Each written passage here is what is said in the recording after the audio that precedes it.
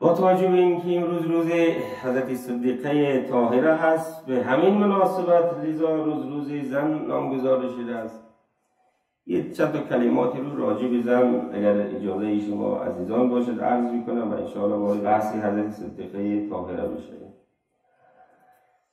خب زن در اسلام جایگاه خیلی مهمی دارد. شما اگر نگاه بکنید از جنبه های مختلف ها جنبه های مختلف که میگم یعنی حتی اقتصادی، اجتماعی، سیاسی و موارد دیگر در اسلام خیلی روش تکیه شده و آیات فراوانی در این زمینه وجود دارد. شما اگر نگاه به قرآن بکنید صد 96 آیه به صورت مستقیم موارد زن رو و مسائل زن رو مطرح کرده و به مسئله خانما پرداخته شده. در قرآن ما حتی سوره داریم به نام سورتون نسا یعنی سوره زنها. این سوره به صورت تخصصی مباحث این خانمها رو چی کرده عزیزان؟ مطرح کرده است. حتی سوره داریم به نام یک زن. اگر عزیزان دونستن چی اسم این سوره؟ سوره مریم. در قصه و داستان حضرت آدم اگر نگاه بکنیم آفرینش آدم و هوا اینها به صورت همزمان در متن قرآن مطرح شدن اینطوری نیست که اول حضرت آدم مطرح شده باشد حالا زیر حضرت هوا اینا به عنوان دو انسان به عنوان دو موجودی که خدای متعال هر دوشون رو از یک شی از همون خاک گل آفرید. حالا شما تصورش بگیرید که اگر آدم تنها بدون هوا می بوده مثلا بشر ایجاد میشه. یا یا مثلا هوا می بوده آدم لذا اینها توام این نوع بشریت را ایجاد کردن لذا عزیزان این که حالا این روزها متاسفانه ما در فضای مجازی می‌بینیم متوجه هستید؟ شعار میدن که زن زندگی آزادی اینا پوچه اینا تو خالیه. اینها متاسفانه به نام این شعار این چنینی استفاده ایسو می‌کنن. و جای این که ارزش های انسانی و ارزش های الهی رو مطرح بکنن اینها بشن مسائل غرائز و مسائل جنسیتی و حتی بهره برداری متاسفانه جنسی رو مطرح می‌کنن. شما می‌بینید روسری از سر می‌گیرن آتش می‌زنن. متاسفانه حتی بعضی جاها دیدیم در کشورهای غربی برهنه شدن. اینها ارزش های زنه خدای متعال برای زن خیلی ارزش قائل است خیلی بها داده است. همون کرامتی که برای مرد هست برای زن است هیچ تفاوتی بین اینها وجود ندارد. ارزش زن در این چیزها نیست.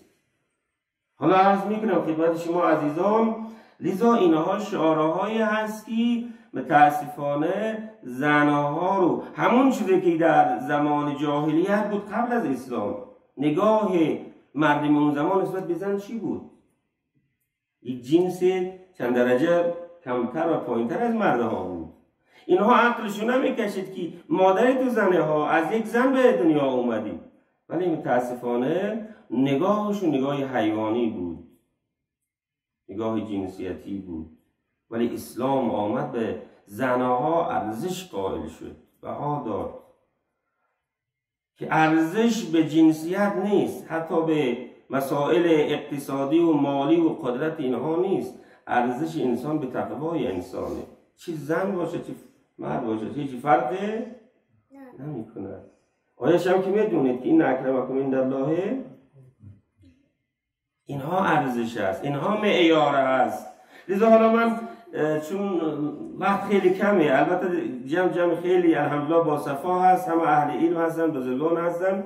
بنده خوب در محضر اساتید خوب دارم کلاس پس می‌دهم. ولی خوب وظیفه هست که در جمع شما خوبان مباحثی رو اینجا مطرح کنیم. لذا عزیزان در روایات نبی اکرم حضرات معصومین صلوات الله علیهم. شما اگر نگاه بکنید توجهی بیشتر به حتی دختراش نسبت به پسرها. رسول مکرم اسلام میگه اگر سفری رفتی برگشتی هدیه آوردی اول به کی بده؟ اول هدیه رو به دخترها بده بعد به پسرها بده. دختر تحفه الهی است هدیه الهی است. ریحانه است. رحمت الهی است اگر در خانه که دختر زیاد باشد اون رحمت الهی در اونجا بیشتر نازل می‌شد ولی متاسفانه در دنیایی که ما هستیم اهمیت و بهار بیشتر برای کی میدیم؟ ما نمیگیم بچه ها بچه ها هم عزیزن. اینها هم خیلی محبوب خدا.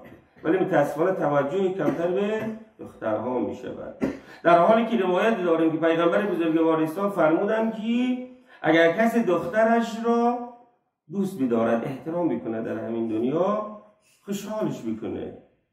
خدای متعال در روز قیامت این انسان رو چی می‌کنه؟ خوشحال می‌کنه عجیبی ها. دخترت را در اینجا خوشحال میگه دختر خودته.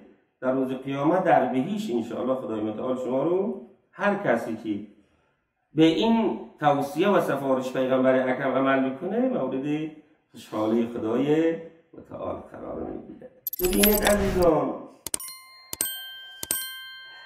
کم کمک برسیم از حضرت زهرا چیزایی بگیریم بحثمون رو جمع کنیم دیگه. این روزی جمعه دعا مکن الحمدلله خوندید کارهای دیگر الحمدلله نمی‌خوام زیاد وقت شما رو بگیریم. صدیقه طاهر سلام الله علیها خود چیه؟ یک زن است. یک زن است. اما چی زنی است؟ چقدر فضیلت دارد چقدر کمال دارد. در یک چیزهایی رو بگم همه الحمدلله اهل فضلن ولی باید اینها گفته بشوند. فرشتگان الهی اینجا میان. آقا جون از اون مجلسی که فضیلت زهرا گفته شود فضیلت اهل بیت گفته شود اینا استشمام می‌کنن میرن به عالمی بالا. اینا مباهات می‌کنن که ما در چین جمعی بودیم. فضایل اهل بیت گفته شد.